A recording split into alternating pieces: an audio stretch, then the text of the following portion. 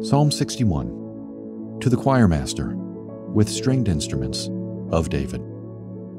Hear my cry, O God, listen to my prayer. From the end of the earth I call to you, when my heart is faint. Lead me to the rock that is higher than I, for you have been my refuge, a strong tower against the enemy.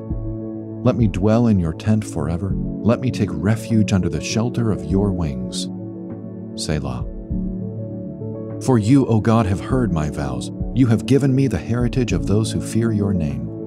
Prolong the life of the king. May his years endure to all generations. May he be enthroned forever before God. Appoint steadfast love and faithfulness to watch over him. So will I ever sing praises to your name as I perform my vows day after day. When we are in trouble, God often feels distant.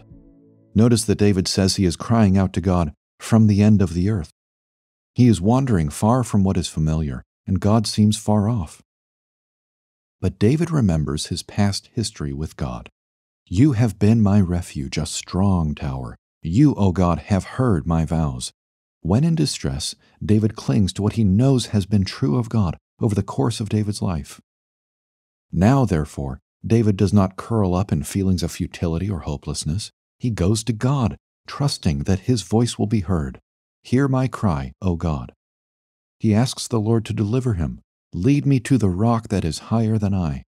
In other words, David is asking God to take him to a place of safety that he himself cannot attain on his own strength. Picture a rising flood. David needs God to guide him to a rock that gets him higher than he himself could reach, lest he drown. How do you handle distress? Emotional, psychological, physical, financial? What is your heart impulse when you feel swamped by adversity? Cry out to the Lord. He will lead you to a place of safety. Perhaps it will not be the safety you expect. Perhaps it will not be immediate deliverance from your present trials. But at bottom, He will assure you of your final and ultimate safety in the arms of Jesus Christ, the true rock that is higher than what you yourself could attain. This rock not only lifts you above the floodwaters of your earthly adversity, it lifts you all the way up into heaven by grace instead of on the basis of your own resources.